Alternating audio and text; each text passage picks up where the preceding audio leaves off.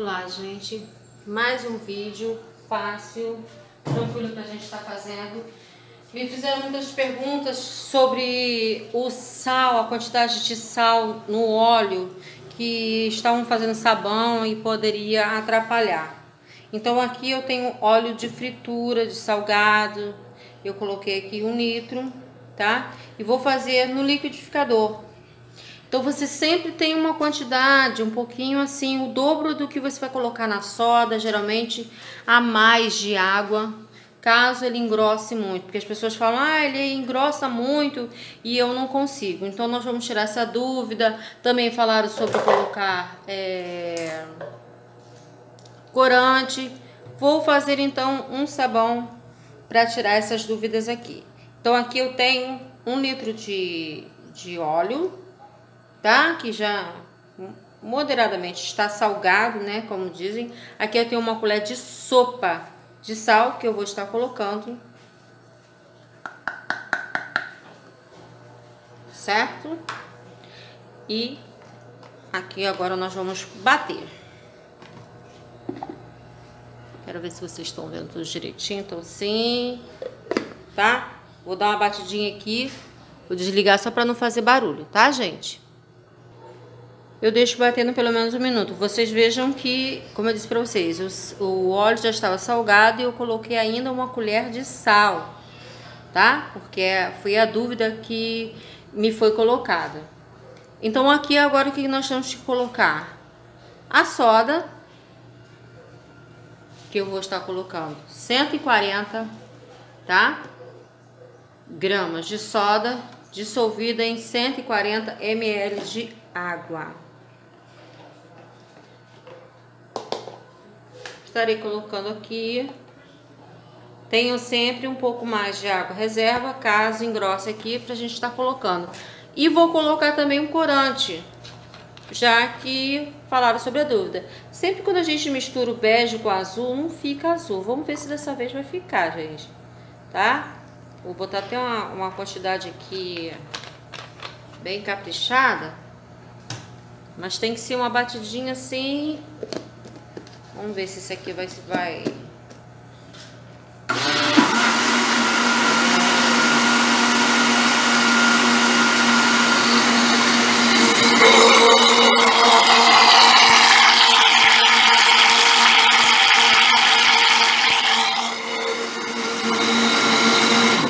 Vamos ver como é que ele está. Ó. Ficou bem azulão mesmo, gente. Bem azulão. E a pessoa questionou, será que vai endurecer? Então, vou dar mais, só mais uma batidinha.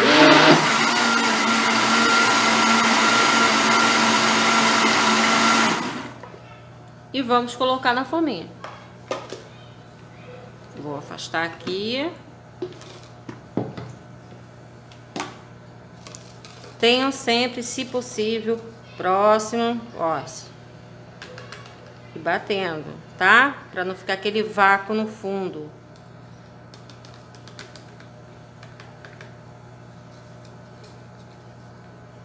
Essa encomenda aqui de sabãozinho azul, isso aqui já é uma encomenda, gente, tá? Tirou, tirou, tirando dúvida, é para esposa do pastor, irmã Crisete, que ela disse que lavou o colarinho do pastor e ficou, olha, no capricho. Vou colocar aqui, tá? Essa minha outra forminha aqui. Ah, não, tá aqui. Pensei que tivesse perdido ela. São tantas emoções aqui nessa mesa que eu fico assim totalmente... Eu, gente, eu ainda, eu ainda fico, me sinto nervosa falando com vocês. Não sei se é porque eu sou tímida, né? Essa timidez vai a gente vai jogar por terra.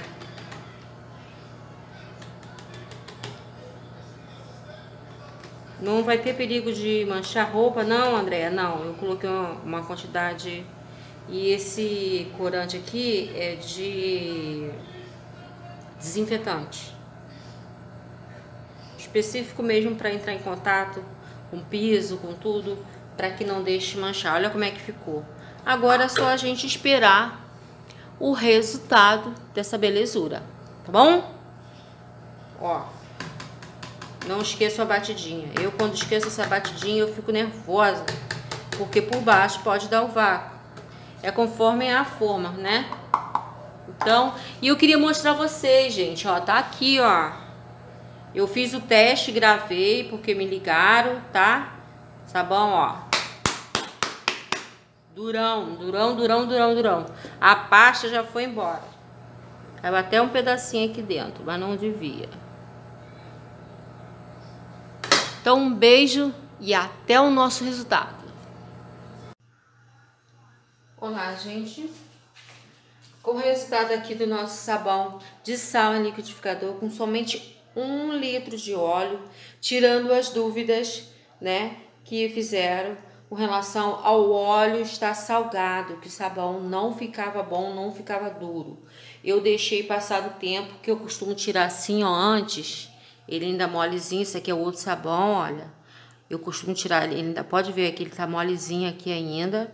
Eu deixei o de sal passar até um pouquinho do tempo, para vocês verem que a única coisa que acontece quando a gente deixa passar do tempo é que tira essas lasquinhas aqui e não fica com a plástica tão bonitinha. Mas quanto ao restante, ó, é sabão para dar e vender, gente.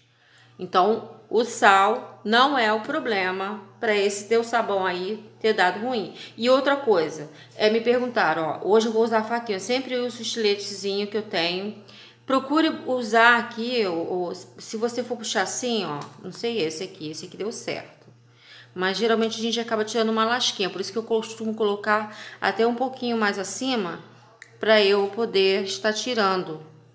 E mudei, voltei com essa forminha aqui. Então é importante que você tenha aqui um, um, um ó, se colocar a faca muito grossa, ela vai tirar a lasquinha do sabão aqui do lado, tá? Não sei se vocês estão vendo aí pra cá, né? Mais pra cá. Então esse é o segredinho. Me perguntaram qual é o seu segredinho. Ó, tô mostrando, se você tirar com a faquinha, o estilete, aquele estiletezinho que eu, que eu, que eu tiro, custa R$1,99, tá? R$1,99. Eu compro do bem baratinho mesmo, porque ele enferruja logo por causa da soda. Aqui, tá vendo? Se você tirar com a faca, aí isso vai acontecer. Ou então quiser tirar na brutalidade, ó, você tem que fazer assim, ó. Tá vendo? Olha aqui como é que fica o nosso sabão. Lindo. Mas aí você perde na hora de tirar, ou tirando rápido demais, tá? Mas nosso sabão ficou lindo. Ó. Deixei mais um dia. Eu não gosto de deixar não, gente. Não gosto de deixar. Se vou, vou, vou tirar um aqui na brutalidade, tá? Não gosto não, mas... Ah, não. Vou tirar não. Meu sabão vai ficar feio. Ó. Pode pressionar aqui, ó ó, na lateral. Eu assopro, mas eu gosto mais de usar aquele estiletezinho. Ó, na lateral você coloca só a pontinha que o ar vai entrar, tá? Ó, ó, até lá embaixo. Tá vendo, ó? Vai soltando o arzinho aqui, ó, ó. Mais em cima você acaba estragando, mas como a gente faz a correção, Aqui não tem problema. E esses pedacinhos vocês não joguem fora, já ensinei vocês. Eu coloco na minha pia, eu faço, é, quando tem muita quantidade de sabão, eu faço uma pastinha, eu misturo para fazer o meu sabão líquido, jogo na, no tanquinho que vocês já sabem como é que eu faço também, lavo banheiro, até roupa eu lavo, gente, ó. Então, se, o sabão de sal, o bom é que você tire até antes para ele não porque ele, olha, ele fica endurecido, olha o que acontece, ó.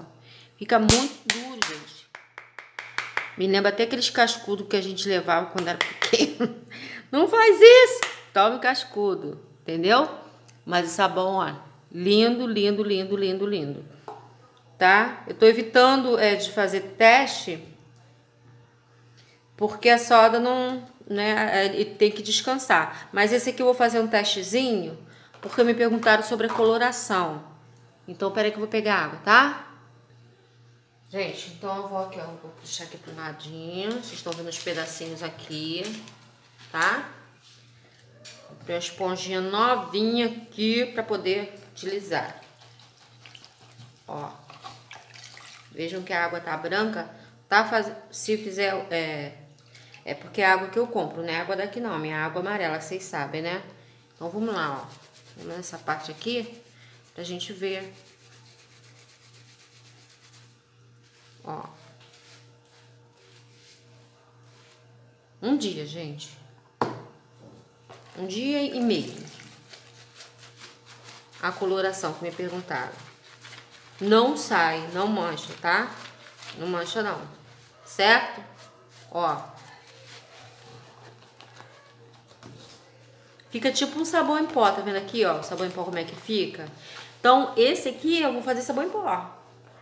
É ótimo para fazer sabão em pó. Quando você coloca assim o corante, esse é o sabão ideal para você estar tá ralando, tá?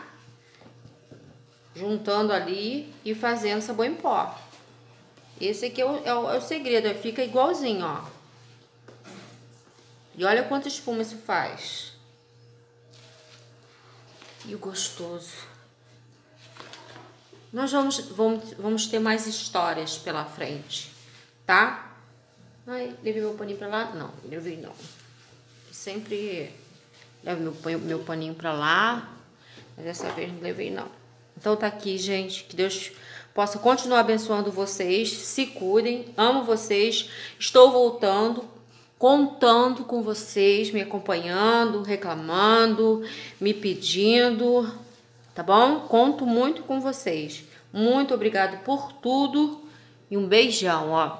Espero que tenha conseguido tirar sua dúvida, querida, tá? Não falei o nome como você pediu, mas vou estar sempre agora é, tirando as dúvidas. É, que, porque eu tenho meu meu WhatsApp pessoal. Eu não estou usando mais como grupo, não. Porque é muito. Já é difícil você é, conseguir administrar uma coisa sozinha. Imagina com várias pessoas, né?